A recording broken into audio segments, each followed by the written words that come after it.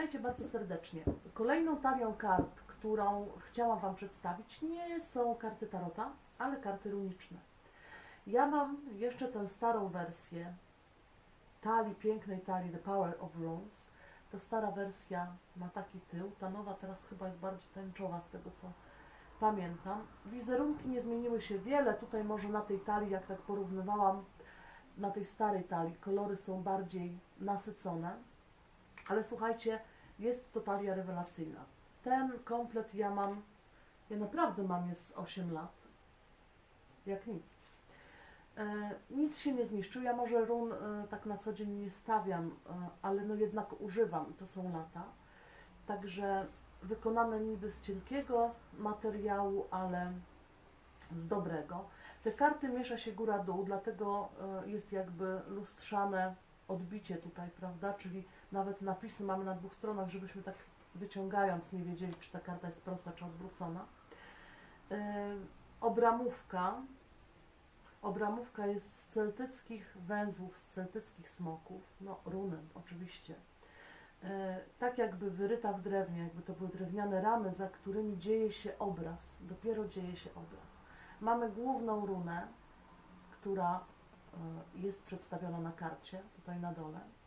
Mamy literę, której odpowiada.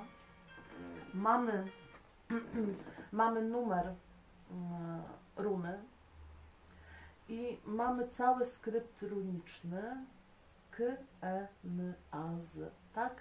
Czyli taki skrypt, który możemy się na przykład przyciągając pracę posługiwać. To są takie podstawowe skrypty runiczne.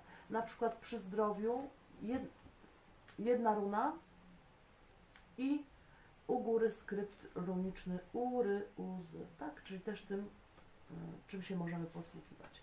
I słuchajcie, naprawdę te wizerunki są rewelacyjne. Teraz sobie je obejrzyjcie, jak one wyglądają. Ja tutaj poprzekładam. Yy, trochę komiksowe, ale nie przesadzone. Widać, że wyrysowane mm, niekoniecznie być może taka grafika komputerowa, ale takie bardziej wyrysowane. Trochę jak Torgal, trochę jak Kajko i Kokosz, tutaj na przykład przy Odali, mm, ale no, i rewelacyjne kolory, które nam dużo mówią, i rewelacyjne scenki rodzajowe, bym powiedziała, z których naprawdę można świetnie czytać.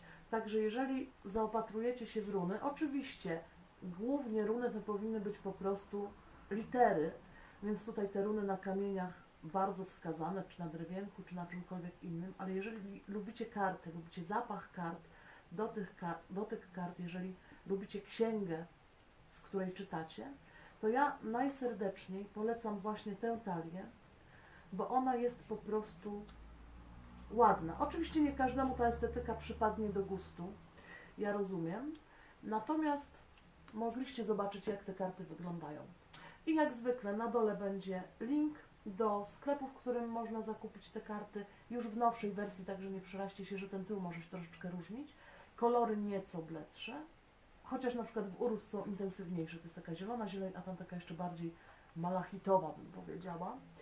Tak, tak, nie jestem wariatką, siedzę i porównuję karty, ale jak się coś kocha, to tak człowiek się zagłębia często. Y, no i bardzo, bardzo serdecznie tę talię mogę Wam polecić. Do usłyszenia i do zobaczenia w kolejnym filmie.